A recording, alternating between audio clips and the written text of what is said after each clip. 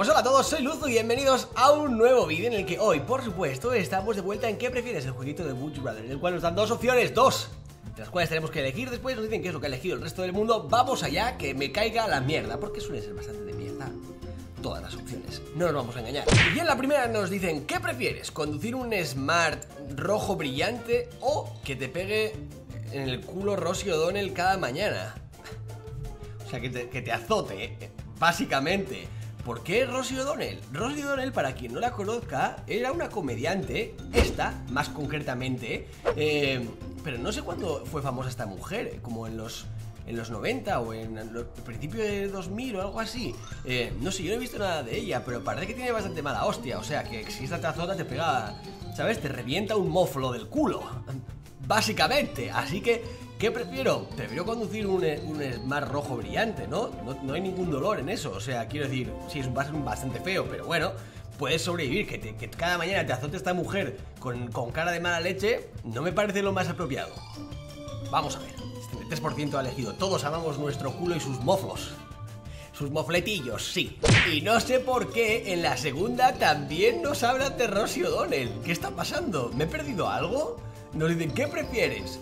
¿Pasar una noche pasional con Rosie O'Donnell o que te quiten los dos dientes... Uh, o sea, que te los arranquen los dos dientes de delante, las paletas. Uh, qué daño, ¿no? Una noche pasional con Rosie O'Donnell. O sea, eh, de azotes a, cariñitos.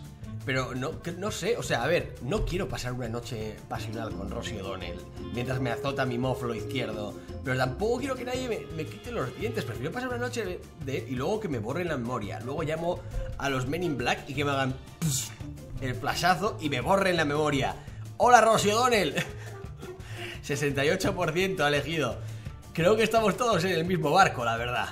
En la siguiente situación nos dicen, ¿qué prefieres? sacar una foto o que te saquen una foto. ¿Cómo? No entiendo. ¿Qué prefieres, sacar una foto o que te saquen una foto? Hombre, prefiero que me saquen una foto. Bueno, a ver, sacar una foto es más rápido, no tienes que sonreír ni nada, pero si te sacan la foto, a ti, tienes una foto, ¿no? Que luego puedes enseñarle a alguien, la, puedo colgar en Twitter, por ejemplo, o algo. No sé, es un poco absurdo esto, ¿no? O sea, son dos situaciones que no te tienen mucho... Muy bien, Luz, te has expresado fantásticamente. Iba diciendo que no me parece que tengan mucho que ver la una con la otra. O sea, no, no, prefiero que me saquen una foto a mí. Porque ha elegido el 70% sacar una foto en vez de que le saquen una foto. Internet, a veces no te entiendo la verdad. A continuación ya vamos con los problemas, enfermedades, o sea, cosas horribles del cuerpo humano. Nos dicen, si fueses ciego, ¿qué prefieres? ser capaz de oír perfectamente y con perfecta precisión o ser capaz de ver utilizando unas gotas para los ojos que producen muchísimo dolor y tienen que ser aplicadas cada hora. Joder, tío. O sea, ¿qué me estás... Creo que cualquier ciego pagaría por poder ver, aunque tuviese que ponerse algo que le hiciese daño, ¿no? O sea, hay mucha gente, ojo, vamos a, a hablarlo bien, hay mucha gente ciega que se desenvuelve perfectamente y que son súper felices. O sea, no, ser ciego no significa que acabe tu vida, es un proceso de adaptarse.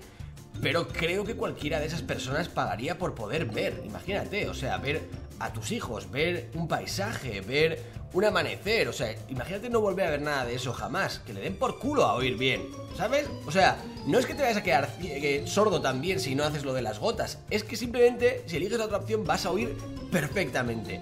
A mí qué mierda me importa escuchar perfectamente. Yo quiero ver, tío. Quiero ver. El 78% ha elegido lo de escuchar con precisión perfecta. Pero ¿qué?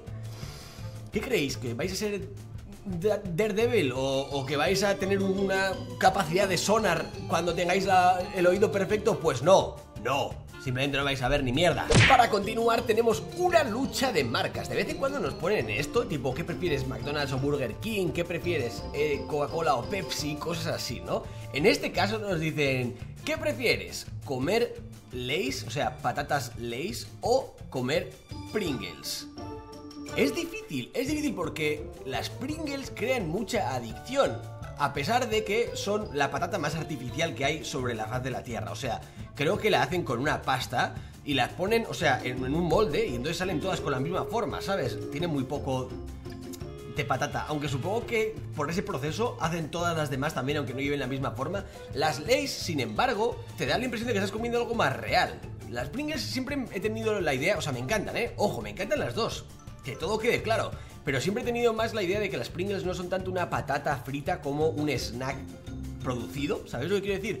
Eh, aún así creo que voy a elegir las Lays. No sé, contento comería cualquiera. No, es que tampoco tiene... Supongo que habrá gente que prefiera una o la otra, pero a mí me la pica. O sea que voy a elegirla. El 68%, ¿cómo estoy pinchando, por favor? Porque cuando haces pop ya no hay stop. Pero a mí se me han acabado los aciertos. Siguiente.